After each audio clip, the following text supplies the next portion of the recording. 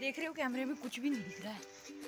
और ये सुबह का टाइम है अभी आठ सवा आठ हुए हैं गाइस देखिए बेटा सोन गाइस सुबह के साढ़े आठ होने वाले और हम ना ठाकुरद्वारे पे पहुँचे अभी मैं दिव्यांश को छोड़ने जा रही स्कूल पर। मौसम बहुत खराब हो गया ऐसा लग रहा है अंधेरा हो गया है। So guys, क्या पता क्या पता हम वापस घर ही चल जाए अब हमारा मन थोड़ा ऐसे ही हो रहा है।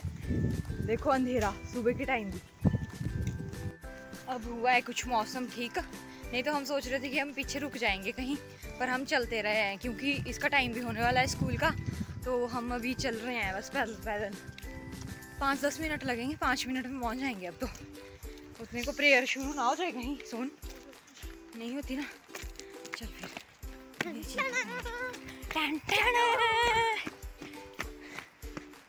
इधर से आते थे हम रनिंग करते करते पहले।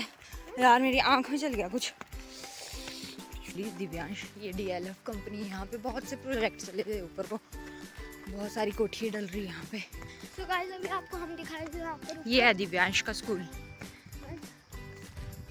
स्कूल यस चलते हैं जल्दी देखना उतने को हो जाएगा तब सी माई स्कूल रेयर होगी अगर।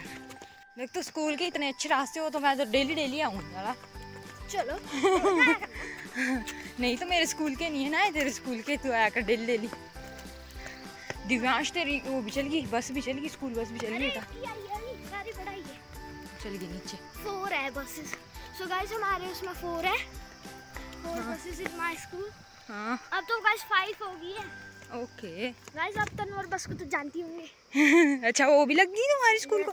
वो ग्रीन एंड व्हाइट अच्छा। क्या? किसी को अलाउड नहीं करते आगे चल ठीक है इधर तक ही छोड़ूँगी गेट तक? आ जाओ तब गेट तक छोड़ूँगी खाओगे गाइस अभी अभी मैं और दिव्यांश शॉप पे थे, फिर अंकल बोलते, कहते, रात को कहाँ जा रहे हो तुम स्कूल को? दिव्यांश बोलते, कहते, रात नहीं हुई है, अभी दिन है डे में लगेगा हमारा स्कूल उसके स्कूल में दिव्यांश को सी ऑफ़ करके आ गई मैं। अब चलते हैं घर की और जल्दी जल्दी जाएँगे, क्योंकि बारिश भी आने वाली, तूफ़ान भी चल पड़ा था, अभी तो मम्मी बोल रहे थे, कहते देख लो कहीं तूफ़ान ठाकुरद्वारे में रुक जाओ कहते मैंने कहा अब तो हम चले गए हैं अब हम रुकने वालों में से नहीं। तो चलते हैं गाइस लग चुकी है और मैंने मम्मी को बोला था मम्मी मेरे को छत्ता दे दो। पर मम्मी ने छत्ता ही नहीं दिया यार। अब मैं क्या करूँ? अब मेरे को भागना पड़ेगा जल्दी। और मेरे ना पैर में भी छालू लग गए हैं। छाल लिया धुंध देख रहे हो आप कितनी घनी पड़ चुकी है इस टाइम ये देखो गाइस और जल्दी जाना पड़ेगा घर फटाफट से। बारिश भी लगी है।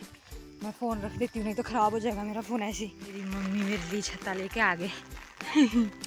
गाइस आके बताओगे कि गाइस मेरी मम्मी छत्ता ले रही हुआ है?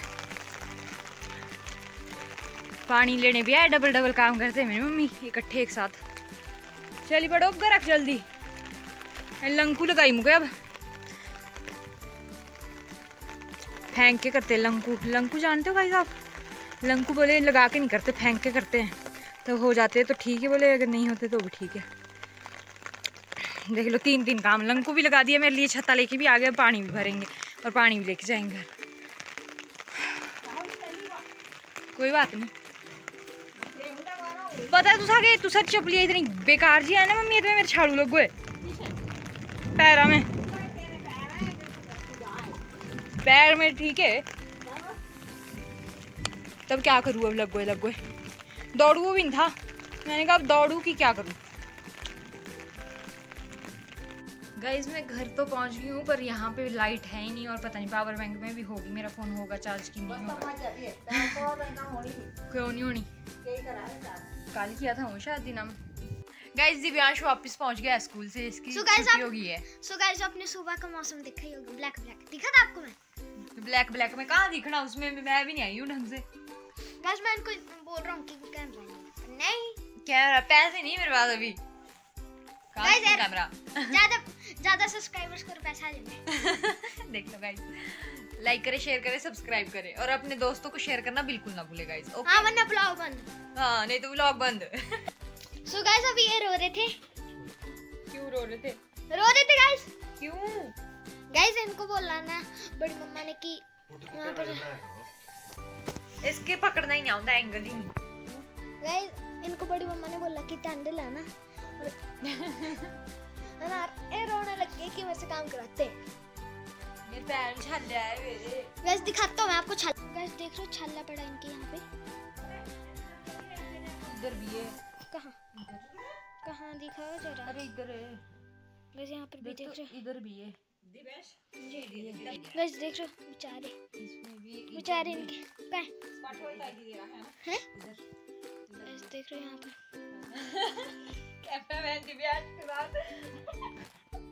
देख रहे हो हंस रहे पहले रो रहे थे हम।